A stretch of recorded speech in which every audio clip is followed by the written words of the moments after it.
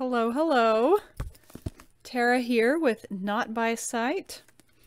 We're on chapter four. And poor Claire, poor Grace. She's had a rough few days with the Women's Forage Corps. She has not been doing so hot. She can't dig ditches. She sewed bags closed, and all of the pigs got let loose by Claire while she went to go look for some gloves.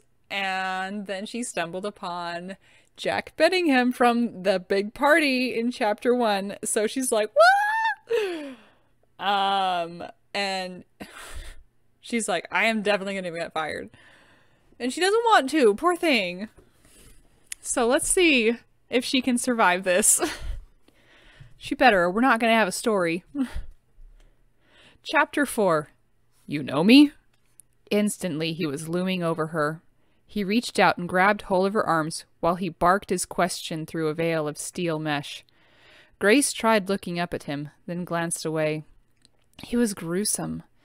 The mask covered the upper part of his face, much like a domino mask, except the eye holes had been filled in with narrow metal strips, making it impossible to see him. Even more ghastly, an attached curtain of steel hid his mouth and the rest of his face from view. Why did he wear such an outlandish disguise? She couldn't help think of thinking of some eerie, otherworld being she'd seen in picture books. I saw you, she said, frightened by his grip. I recognized you before before before you put on that hideous mask. She didn't finish. She did not finish. Who are you?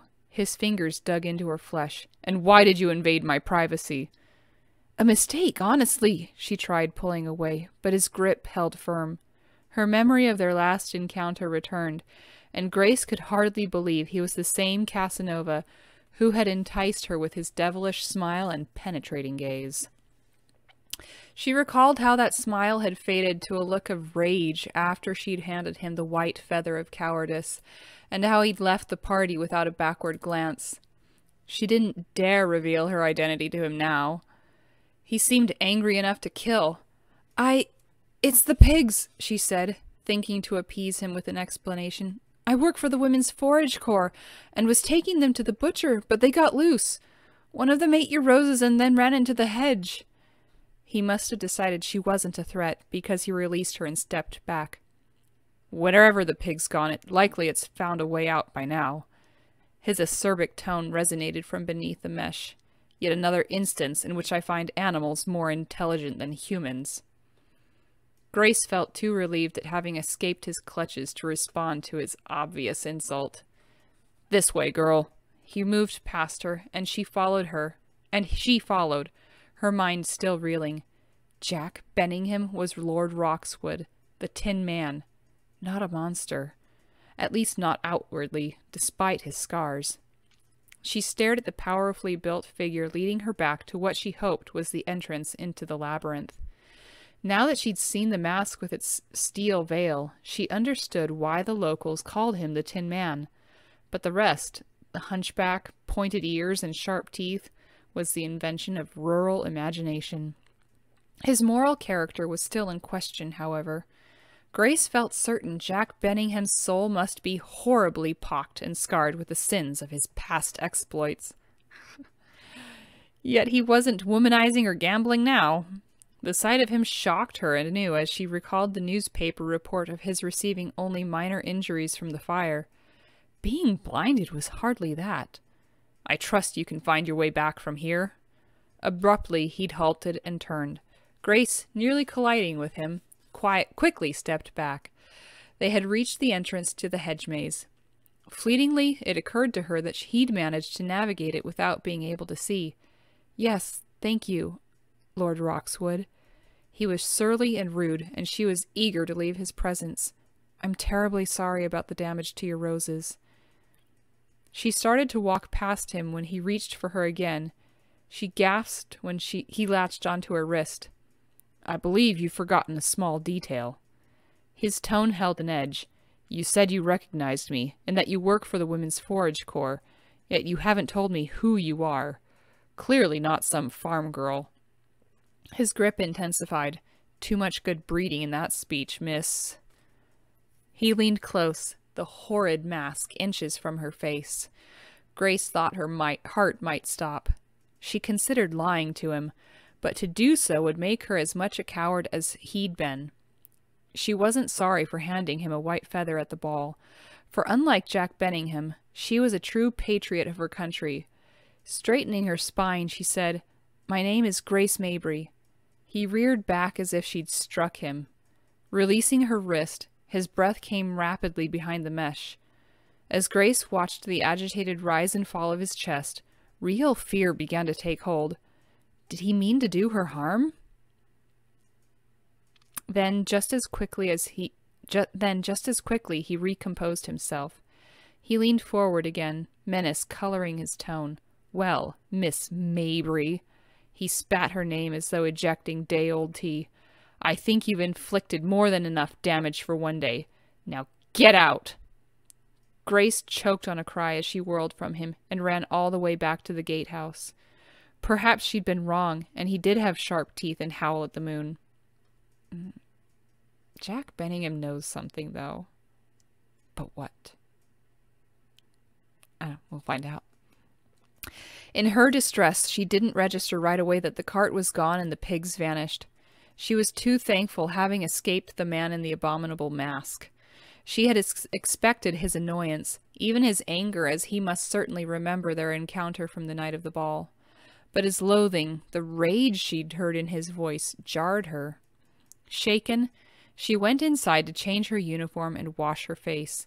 Afterward, she grabbed a bicycle and rode to the barn. The cart stood out front, the cage empty. Claire must be having a good laugh at her expense, Grace thought bitterly, pulling the daisy pendant she'd found from her uniform, uniform pocket. Well, the joke would be on her once Grace offered up proof the woman was responsible. The barn doors opened and Mrs. Vance stepped outside, hands on hips. Before Grace could utter a word, her supervisor snapped. Inside!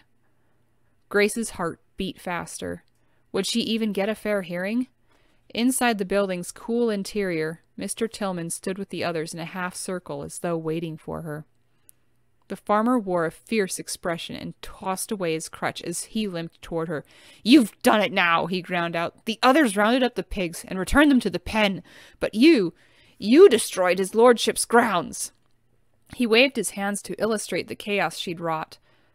Mabry, Lord Roxwood is furious, Mrs. Vance said. He's already sent word through his steward demanding your immediate removal. The older woman paused, then added, It pains me to tell you this, but you're dismissed from the WFC as well. The last straw, ground Mr. Tillman. His suffused features loomed over her. Exactly why women don't belong working on a farm.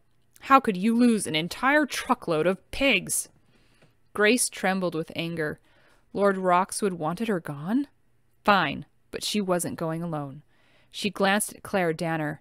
The woman stood with arms crossed, wearing a smug look. Obviously, she had no idea she'd left the pendant behind. Grace dropped the necklace to dangle by its chain at her side, making sure her nemesis saw it. What does Claire have against her? It wasn't me. She fully intended to exonerate herself and name the true culprit. After all, if Danner hadn't been so mean-spirited in the first place, none of this would have happened. No runaway pigs, no encountering Jack Benningham, no getting sacked.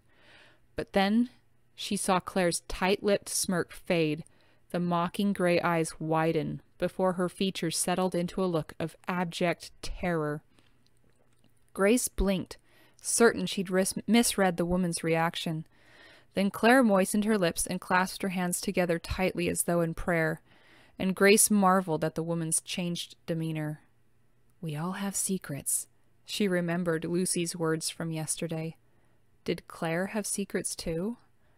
Averting her eyes, Grace felt her desire for retribution ebbing. What good would come from demanding Claire's dismissal from the WFC?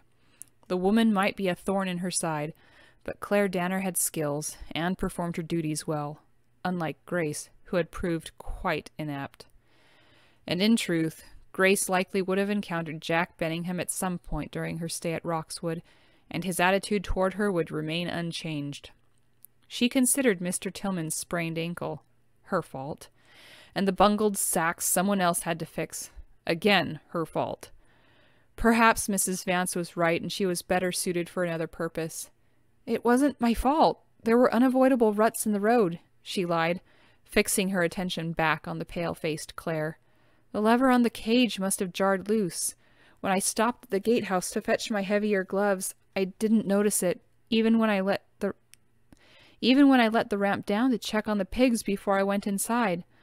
I returned and found them escaped, running across Roxwood's grounds. I tried chasing them. Her voice trailed off. Knowing the concocted story made her sound like a complete muddlehead. Pack your things, Mabry. Even if I could change the rules, it's out of my hands. His lordship has ordered you gone in the morning. Mrs. Vance's look softened. The nearest train is at Margate. I'll take you there myself in the cart tomorrow. I'm sorry, Grace. Grace glanced at the faces around her, swallowing an urge to cry. Mr. Tillman retrieved his crutch and leaned against it, looking satisfied. Becky and Lucy, along with Mrs. Vance, eyed her with pity. Agnes shook her head and with lips pursed twisted her hands together. Claire stood near the big double doors, clearly stunned. She spun on her heel and stalked out of the barn. It's done, Edwards? Yes, my lord. Jack's steward and land agent cleared his throat and added, I've informed Mr. Tillman to make certain Miss Mabry leaves in the morning. I believe she'll be taking the ten o'clock out of Margate. Good riddance, Jack growled. Thank you, Edwards. That will be all. Shall I call for your valet now, my lord? No. Townsend can attend me in an hour. I know it's late, but I don't wish to be disturbed. Of course. Good night, my lord. Hearing the door to the bedroom close behind his steward, Jack Benningham, third Viscount of Wallingford, heir to the fifth Earl of Stonebrook, and, for his present convenience, second Baron of Roxwood, walked unerringly past the opened French doors leading out onto his balcony. The marble felt smooth and unyielding beneath his fingertips as he stood at the rail. He knew beyond the sprawling lawns and breathtaking rose garden, or what remained of it, stood the enormous hedge maze planted by his great-grandfather decades before. This afternoon had been his first venture outside since the accident. Jack congratulated himself that despite his blindness, he could still navigate the labyrinth's twists and turns in order to reach the fountain at its center. Roxwood had been in his family for generations, and he found the simple two-story Georgian-style home a sanctuary against the suffocating attentions of his family, the animosity and revulsion of his fiancée, and the prying, pitying eyes of London society. It was the perfect place to hide. Until today.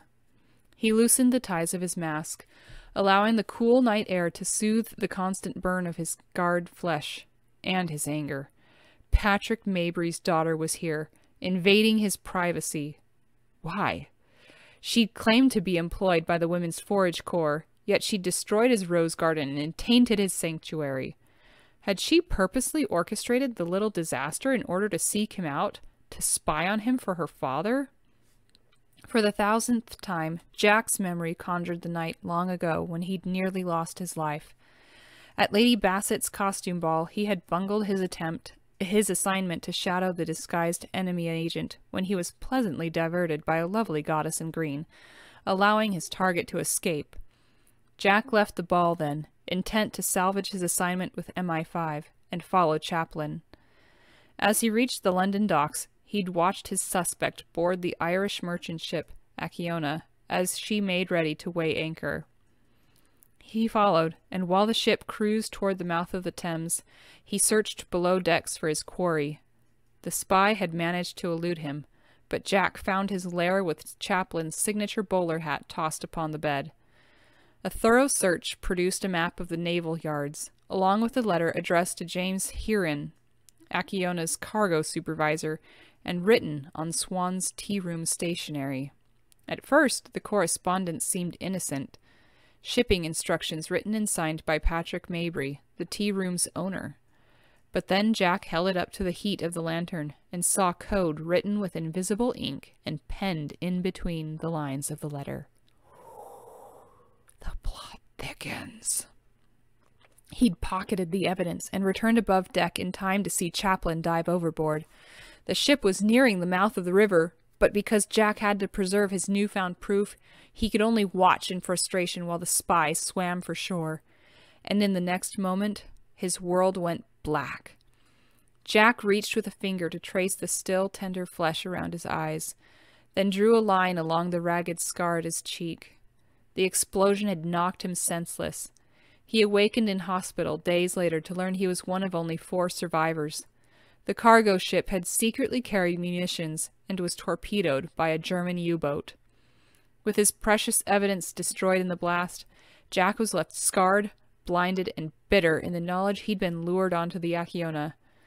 Never would he forget Chaplin's backward glance as he boarded her, or his subsequent escape seconds before the explosion. Patrick Mabry had written the code. Perhaps he and Chaplin were one and the same man. Now his daughter was here. Milord? A faint knock sounded at his bedroom door. A moment, Townsend, Jack called as he quickly replaced the mask. His household staff was under strict orders never to intrude without first gaining permission. Leaving the balcony, he returned to his rooms. Whatever her reasons for being at Roxwood, tomorrow couldn't arrive soon enough. He wanted Grace Mabry gone. Marcus, we need to talk. Jack? Through the cra crackling line, Marcus Weatherford's sleepy exhaustion seemed to vanish. I thought you'd forgotten how to use a telephone. It's been months, man. Good grief, do you have any idea what time it is? Near dawn, I imagine. Jack hadn't slept. Too many questions about Patrick Mabry's daughter and her presence at Roxwood needed answers. It's 3.30 in the morning. Marcus's tone turned tense. Jack, what's wrong? Does something need to be wrong when I call Marcus? Other than the obvious. Jack said irritably. At this hour, yes. Marcus sounded exasperated. Benningham, you've disappeared off the map. No one's heard from you since you left hospital. Even your father calls me. And when I telephone to try to find out how you're doing, I have to speak with that old watchdog Edwards. He paused. Is he dead? Is that why you're ringing me at this unholy hour? Edwards is fine. I've called for another reason. Jack relayed to his best friend the encounter with Grace Mabry. Mabry's Mabry's daughter working for the Women's Forage Corps could be legitimate, but you don't think so, do you? Marcus said. And neither do you. As I recall, MI5 doesn't believe in coincidences. Hesitating, Jack said, Marcus, I think Patrick Mabry sent her here to spy on me. Expecting to hear his friend scoff through the receiver, Jack was surprised when Marcus said, Not good news, old boy. Jack straightened. Why? Can't discuss it over the telephone, Marcus said. Look, I'll verify her application through the Army Service Corps, since they govern the WFC. I'll also do some other checking. It may turn out we're both wrong and her reason for being there has nothing to do with any collusion with her father. He paused. You've been unreachable for so long. I haven't been able to tell you we finally arrested James Heron last week. Caught him passing coded information to a known German agent. The cargo supervisor for the Acciona? Jack gripped the receiver. What did he say? Heron's involved in the same spy ring we've been after for months. I knew it! Now, please tell me the code was sent along in one of Mabry's letters. I'm afraid not, Marcus said. But MI5 still has a man doing surveillance at Swans and keeping an eye on Patrick Mabry's movements. Unfortunately, the trail went cold recently, but Heron's arrest is a boon. Thanks to you, we know the two men were connected. Jack's hopes plummeted, and the proof lies at the bottom of the Thames. It might be Mabry doesn't know that. Exci excitement tinged Marcus's tone. Look, it's just a theory, but possibly he sent his daughter to snoop around. Can you make certain she stays put? I'll check her story, but it might take time, and those hay baling crews move around a lot. Jack bit back an oath. He hadn't thought it through when he demanded her removal.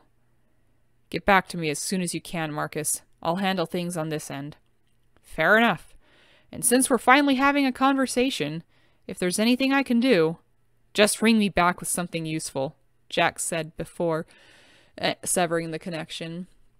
The last thing he wanted to hear from his friend was anything that sounded remotely like pity. From the study, he carefully retraced his steps upstairs. Like the hedge maze, Jack had spent enough summers at Roxwood to memorize every door and hallway, along with the placement of every chair, potted plant, or other pieces of furniture in the, in the house. Inside his room, he removed the mask and sat down on the edge of his bed. He needed to figure out a way to delay her departure, at least until Marcus got back to him. Perhaps in the morning, Edwards could obtain something useful from the WFC person in charge at the farm. Jack fisted the steel mesh of his mask. James Heron's arrest merely confirmed to him Mabry's involvement in the explosion. The idea of his offspring remaining on the property, within proximity of his sanctuary, enraged him. Wasn't it enough he'd been thrown from a burning ship into complete darkness, pocked by scars no woman would ever look at without collapsing into a dead faint? Except for Mabry's daughter, he thought savagely. She was more callous than he'd given her credit for, especially if she were here to do that traitor Patrick Mabry's bidding. Enter, he called to his steward, Mr. Edwards. Jack stood in his room four hours later, dressed and freshly shaved, the latter only on condition he raised the steel mesh himself just far enough that his valet could get the job done. At the moment, Townsend was performing the last ritual of grooming, brushing imaginary lint from the back of his jacket. "Milord, I was able to obtain her file from Mrs. Vance, the supervisor," Edwards said. "Would you like to review it now?" "Thank you, Townsend. That will be all." Once the valet departed, Edwards began. Miss Mabry hired on with the Women's Forage Corps just weeks ago. She recently attended training at Norfolk before being assigned to Roxwood. Anything else? He'd hoped for some kind of substantial proof she wasn't here by accident. Very little, my lord. Though it says she's qualified in driving a horse transport team, record keeping, and operating a motorized vehicle. Perfect, Jack said as an idea began to form. Arrange a meeting between Miss Mabry and myself immediately. Excuse me, my lord. The normally unflappable steward hesitated. I thought you ordered her off the premises. Change in plan, Jack said. With Barnes gone to the front, I need a driver for the Daimler. Dr. Black suggested I take the country air. Miss Mabry should suit for the task. Tell her I'll pay the going rate. My lord, are you planning to offer her a full-time post? Hardly, Jack thought. Mornings only. Since her stay would only be temporary, he could manage two or three hours in her presence each day. If it's only part-time work, your lordship, she may not be interested. Jack hadn't considered that. Inform the supervisor to keep her on at Roxwood. Miss Mabry must be available to me every day until noon. She can work for the WFC afterward. Pardon, my lord, but she's been dismissed from the service. After the, uh, incident with the pigs. The WFC makes the rules for their workers. Then tell them to unmake them, Jack said with impatience. I undercut the price of my hay and fodder to the British Army more than any other landowner in the district. I hardly think she'll deny they'll deny me such a small favor. Favor. Now see to it, man. Yes, my lord. Immediately. Once his steward had left, Jack headed downstairs to breakfast. With the skeletal staff he employed at Roxwood, his cook, Mrs. Riley, brought in the meal herself and then left him to eat in privacy. After removing his mask, he poked at his plate with a fork, satisfied to find the fried kidney beans at seven o'clock, two soft boiled eggs at six o'clock, and a slice of toast and blood pudding at twelve and one. He began tucking into his food. It was the breakfast he had every day and always in the same arrangement. It not only simplified the menu for Mrs. Riley, who had served since his grandfather's day, but it assured Jack there would be no surprises. He found a measure of control in knowing what to expect and when to expect it, a sense of order that the blindness had robbed from him. Yet he set his fork aside as doubts over his new plan dampened his appetite. He'd been somewhat of a tyrant with Miss Mabry in the hedge maze. She might not wish to meet with him. Jack hoped if she was here to spy on him, she would seize any opportunity to renew their acquaintance. If she wasn't, their interview would most likely end up being uncivil and one-sided, much like the memory of his conversations with Violet Arnold. No, Miss Mabry would agree to say stay. He felt certain of it. And then retribution ignited in him like a flame, illuminating his dark world. While he no longer held proof she might be seeking, while he no longer held the proof she might be seeking, he planned to turn the tables on her nonetheless. He would use his skills to interrogate her during their time together and extract information, enough hopefully to charge and convict the traitor who fathered her and beat him at his own game. Jack retrieved his fork, seized with new appetite. Surely God would grant him the justice he deserved. Frowning, Agnes stood at the door of their, to their bedroom and eyed her mistress. Dressed in her blue traveling suit, Grace Mabry adjusted the straps on her portmanteau and haversack, both packed and lying on the bed. The look of defeat on her pretty face nearly broke Agnes's heart. She understood the feeling all too well. You're leaving then, miss? Grace offered a wan smile. It appears so. I seem to have a habit of bringing about disaster wherever I go, don't I? Agnes shook, shook her head vehemently.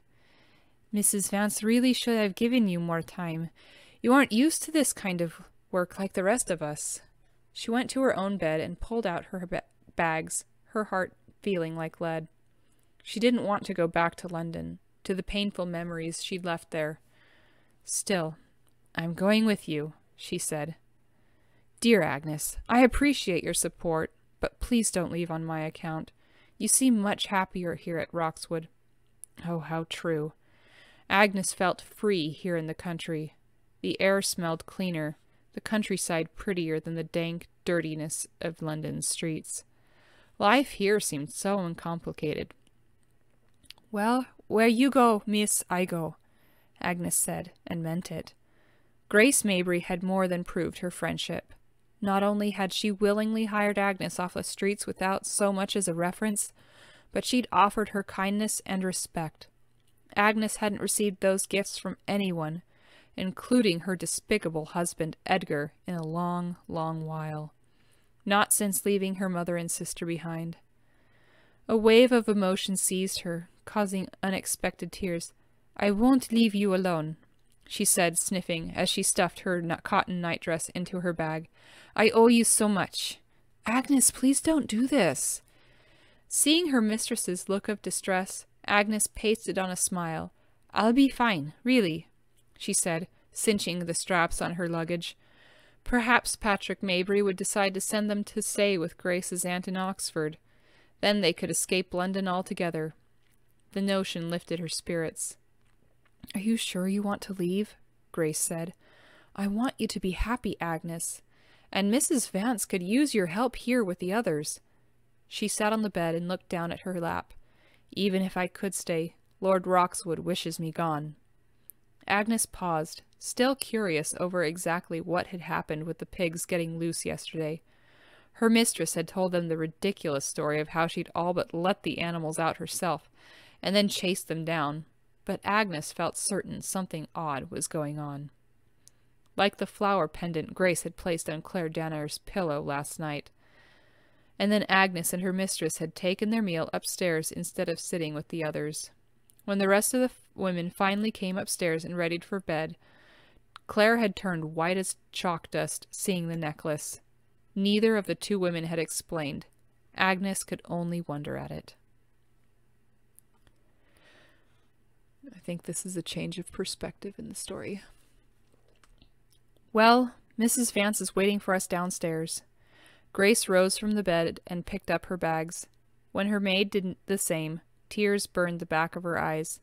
Thank you for your faith in me, Agnes. I couldn't possibly imagine a more loyal friend. She saw emotion return to her maid's expression and tried not to feel guilty about her relief that Agnes would accompany her home. Grace imagined her father's reaction.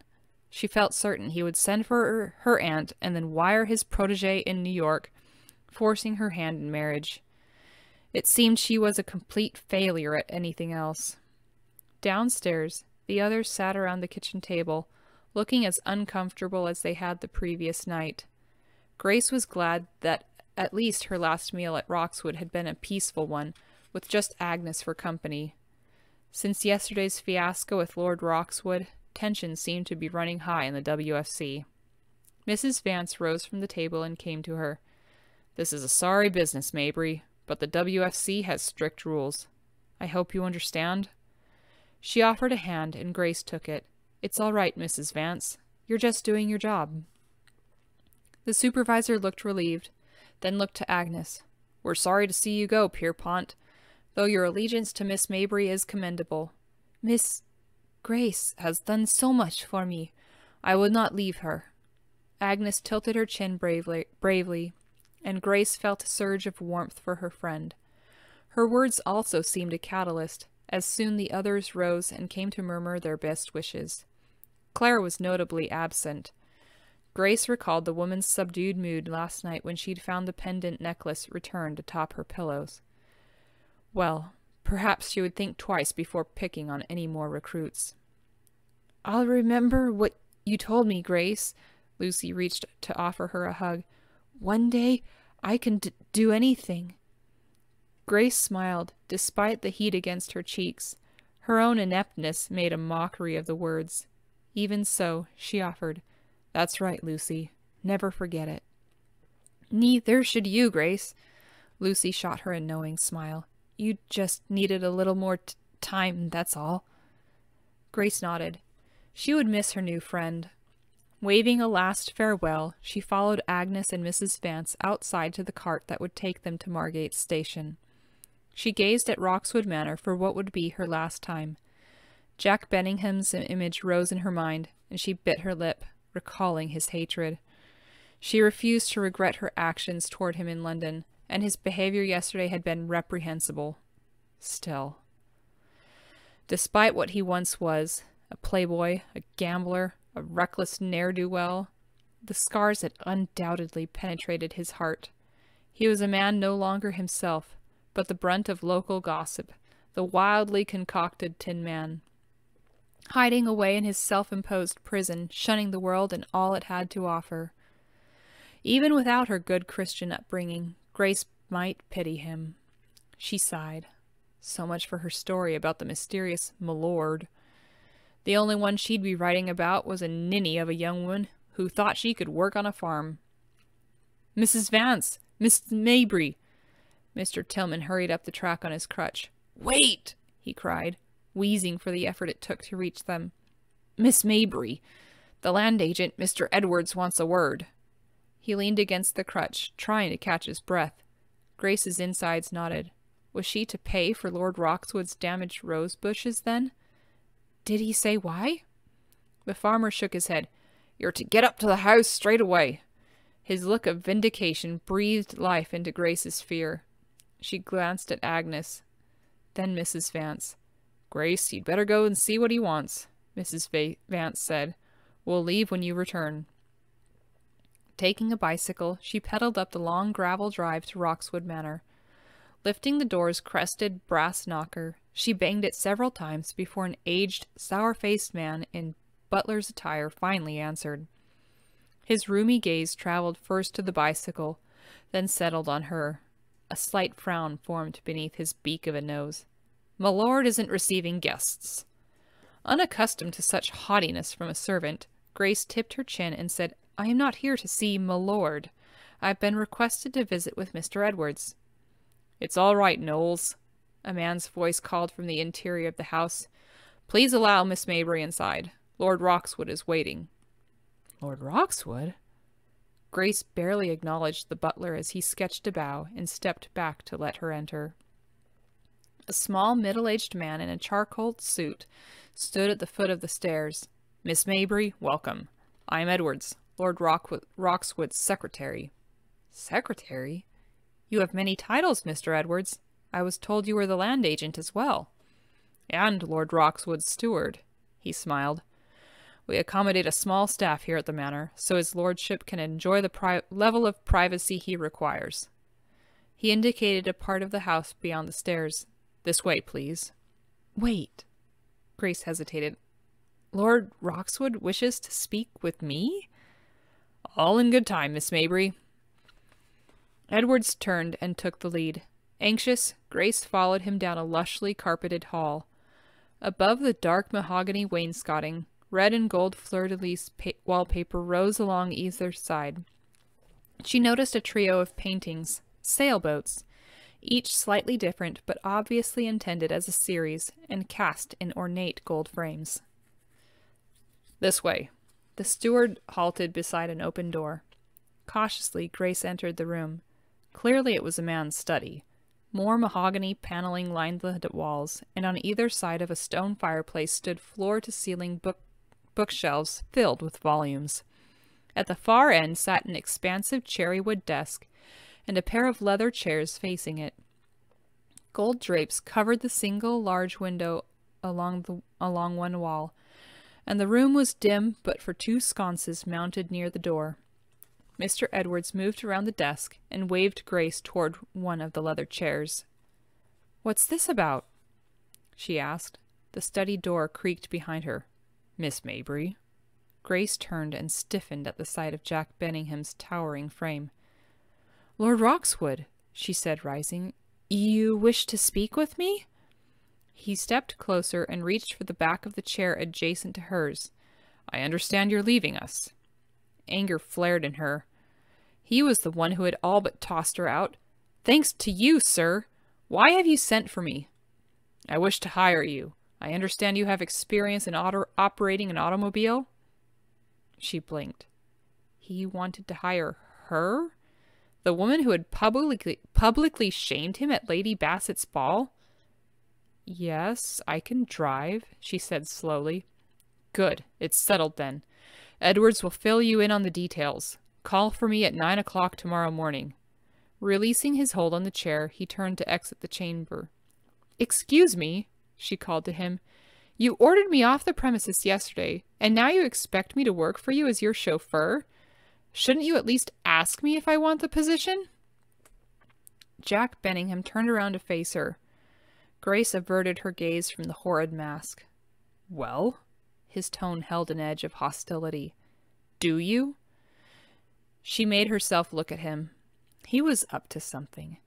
His reaction to her name yesterday made it clear he recognized her from the Dowager's costume ball. Perhaps it was some kind of trick to extract revenge for shaming him publicly, or he simply wished to humiliate her, making her become, for all intents and purposes, his slaves. His slave. What are your terms? she asked. His posture eased. Mornings you'll spend driving for me. Afternoons you'll return to your duties with the other workers. I no longer work for the WFC. Yes, I was told you got the sack. His voice held no mockery. The problem has been taken care of. She glanced towards Mr. Edwards, who nodded. Hope rose in her. If she stayed on, she could continue to help in the war effort. She could also remain on her own. Yet, if she accepted the terms, she would have to look at the hideous mask every day and tolerate Lord Roxwood's bullying manner. Well, Miss Mabry, a simple yes or no will suffice. She took a deep breath. I accept. Freedom in helping her brother outweighed this man's arrogance and bad manners. Until tomorrow morning, then. She watched as he swiftly departed the study. Um, so the mask that Jack is using is um, what World War One tank drivers and operators would use um, to protect their faces from uh, shrapnel that entered into the tank. Kind of creepy looking. I'll uh, share a picture with you at the end of this video.